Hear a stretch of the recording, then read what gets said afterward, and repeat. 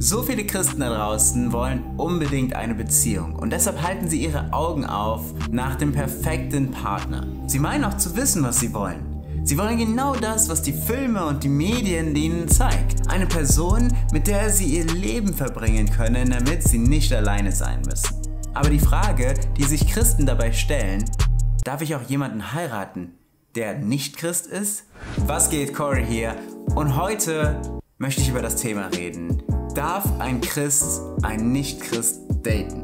Darf ich das? Für mich ist das ein persönliches Thema, ein Herzensthema, weil ich das in meinem Leben auch durchgemacht habe. Deshalb ähm, kann es sein, dass ich ab und zu ein bisschen ausschweife und aus meinem Leben erzähle. Ich habe auch schon ein Zeugnisvideo gemacht, in dem ich viele Sachen besprochen habe. Den Link könnt ihr natürlich wieder unten in der Beschreibung finden.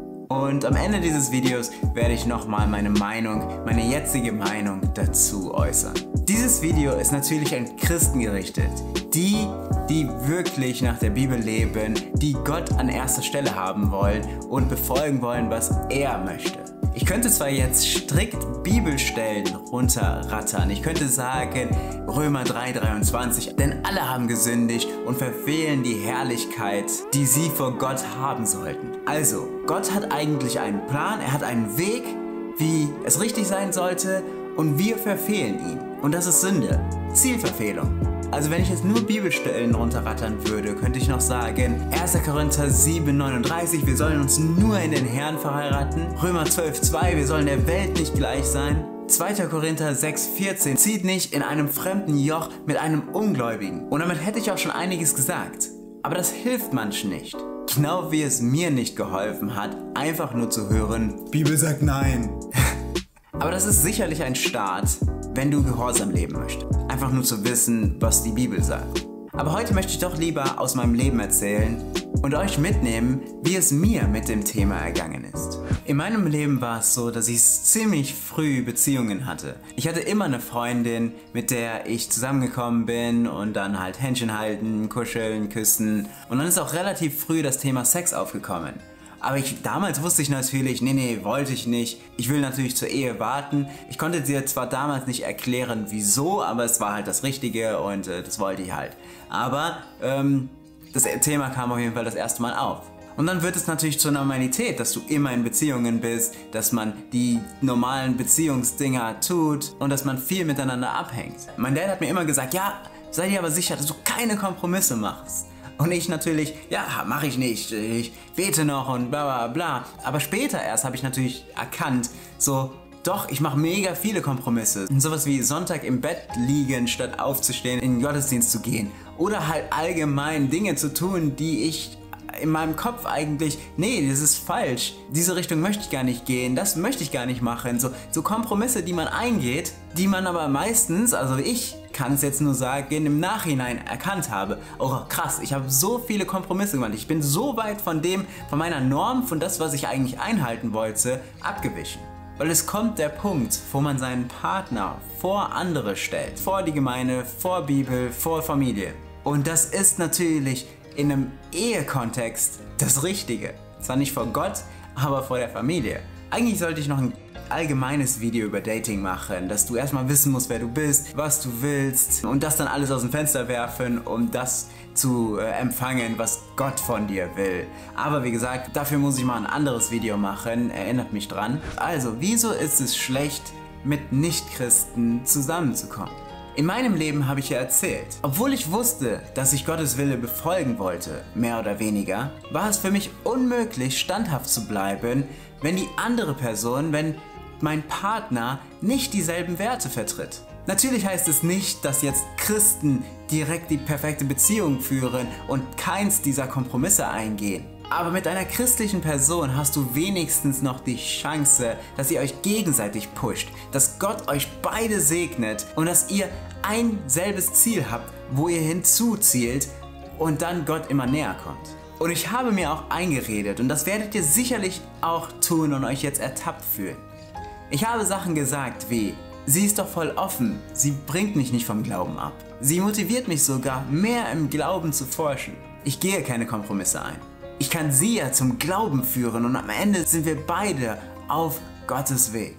Aber all diese Aussagen und all diese Gedanken sind genauso wie im Lotto gewinnen. Es gibt mal die eine oder andere Beziehung, die funktioniert mit einem Christen und Nicht-Christen. Aber es ist niemals das, was Gott gewollt hat. Und wie gesagt, ich bin mir sicher, dass sich jemand ertappt fühlt und denkt, ha, ich dachte, ich wäre der Einzige, der so denkt. Aber nein, genau so habe ich auch gedacht. Ich weiß natürlich, wie es sich anfühlt, verliebt zu sein, so richtig, so, so richtig verliebt zu sein oder zu denken, hey, es gibt keine Christen da draußen, die so gut ist wie diese Person. Oder wenn ich jetzt nicht diese Person halte, dann, dann werde ich alleine sterben. Und das denke ich dann wahrscheinlich im Alter von 18 oder noch so jung halt.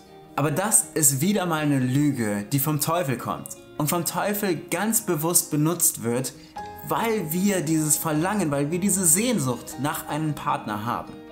Also kommen wir zu Problemen, die aufkommen, wenn du trotzdem in so einer Beziehung lebst. Ein Problem in meinem Leben, was aufgetreten ist, ist, Gott spielt keine Rolle mehr. Er ist zwar noch da, man betet vielleicht, aber es spielt keine große Rolle mehr. Und er ist vor allem nicht mehr an erster Stelle. Sachen, die damals noch No-Go war oder für mich gar nicht interessant waren, wurden auf einmal interessanter. Alkohol, Partys sind kein No-Go mehr. Obwohl ich wusste, dass ich nicht der Partymensch war oder auch nie viel Alkohol getrunken habe, wurde das langsam mehr und mehr. Nicht, dass ich jetzt ausgerastet bin, aber einfach nur zeigen, dass sich so Sachen langsam einschleichen. Ein Punkt ist, Gott ist nicht der Mittelpunkt in der Beziehung. Also man wächst nicht mehr im Glauben. Statt jetzt über die Welt zu philosophieren und im Glauben Fragen anzugehen, spricht man nur noch über belanglose Themen, weil das Thema Jesus ist ja kein interessantes Thema in der Beziehung. Ein weiteres Problem ist Gebet, Bibelstudium oder Gottesdienstbesuche reduzieren sich. Heutzutage bete ich mit meiner Frau für jedes größere oder auch kleinere Thema in unserem Leben.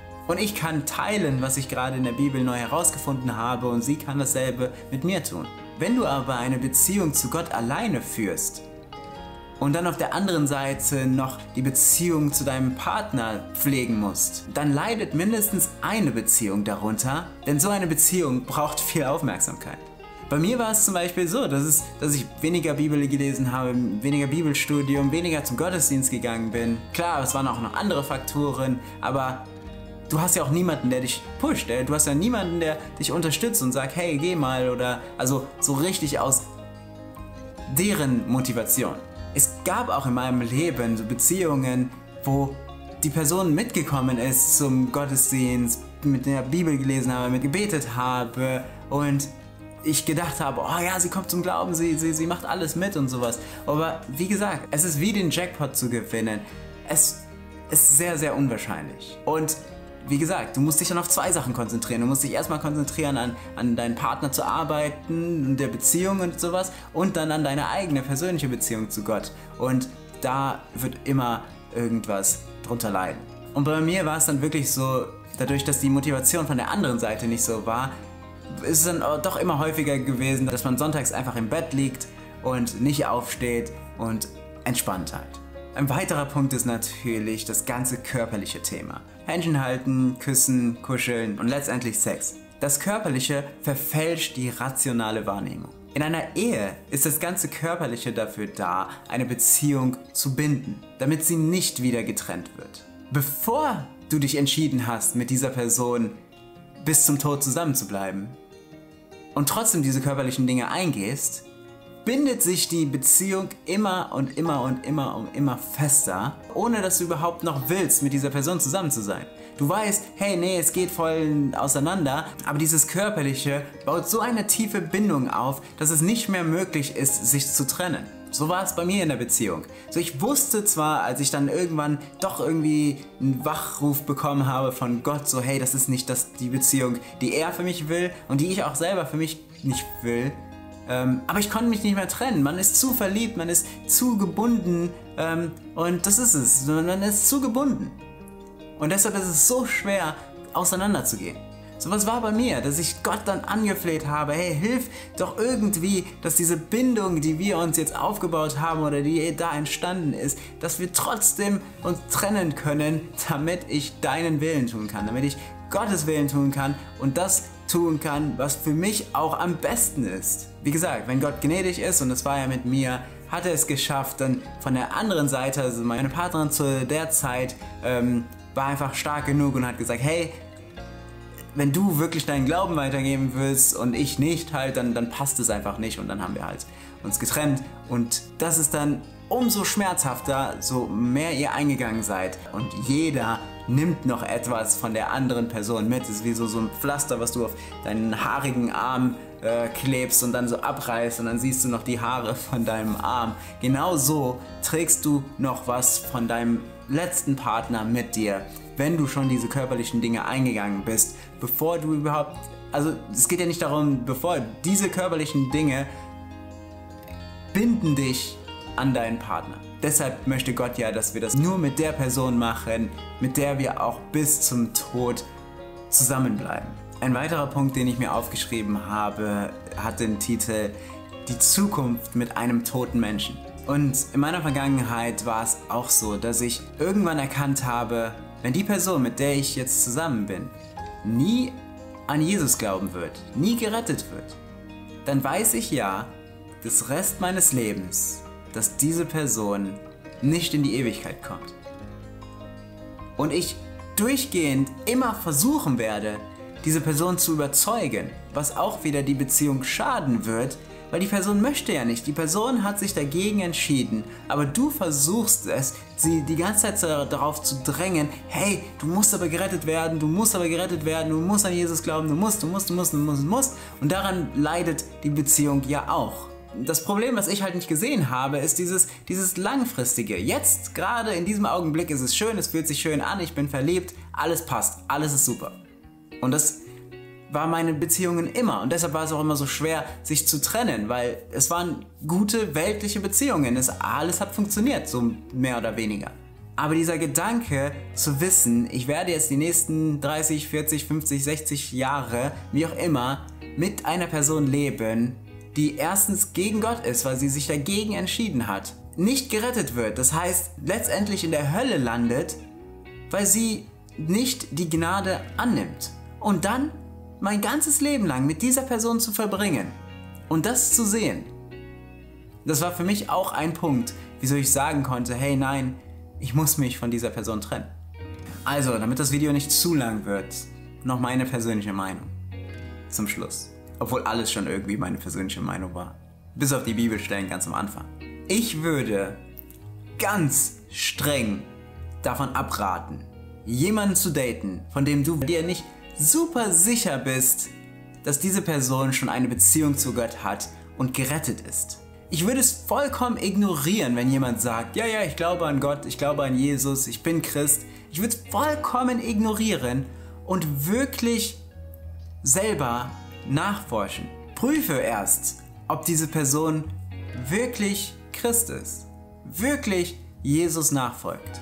Weil ich nichts Positives sehe, jemanden zu daten, der nicht gerettet ist. Und wie gesagt, ich sage nicht, dass Nichtchristen keine tollen Menschen sind und wunderbar sind und hübsch sind und witzig sind und zu dir passen Genauso sage ich auch nicht, dass alle Christen automatisch gute Menschen sind. Also es geht darum, wenn ihr Jesus als Fundament habt und wenn ihr ein gemeinsames Ziel habt, Jesus Christus, und Gott die Ehre zu geben mit eurer Ehe, dann habt ihr einen festen Grund, ein festes Fundament, um eine göttliche Beziehung zu führen. Gebet, Segnungen, Gemeinschaft. Ihr werdet von Gott geführt. Auf das alles verzichtest du wenn du deinen eigenen Weg gehen möchtest, fernab von dem, was Gott möchte. Sünde. Themen, die aufkommen werden, wie geben wir unseren Teil in die Gemeinde.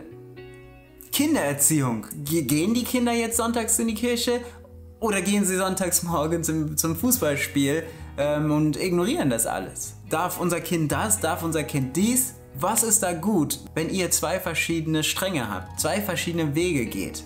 Du wirst Gebetszeiten haben. Gottesdienste, Hauskreise. Du wirst einen ganz anderen Wochenplan haben. Alles dreht sich natürlich in deinem Leben um den Gottesdienst.